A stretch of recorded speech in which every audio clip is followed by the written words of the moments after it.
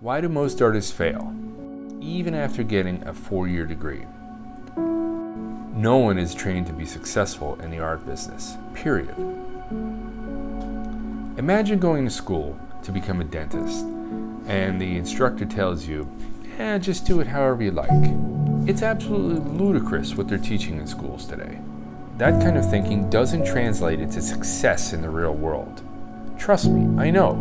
I spent the last 29 years building a successful art business, and from my experience, there's only two ways to find that success. One, you do it on your own. You spent years of frustration, misdirection, and failure.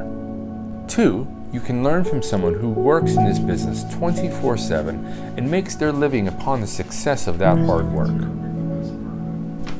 That is what I have to offer each and every one of you no matter where you are from, no matter what your story is, no matter how many years you've been drawing or painting and feeling that frustration, you are capable of achieving far more than you understand.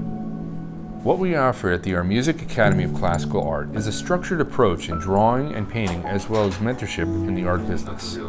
I want you to succeed doing what you love. Kind of getting out your seat. Unless you're getting direction from someone who's risked everything for their dreams and came near losing it many times, you aren't getting advice from someone who understands your concerns and your situation. There is no greater gift than being able to get up each day and to experience life on your terms. I'm not going to promise you it won't come without a lot of hard work and tenacity, but with the right direction, you'll be able to achieve your dreams without unnecessary failures. Take action today and click on the link to take advantage of my new student special.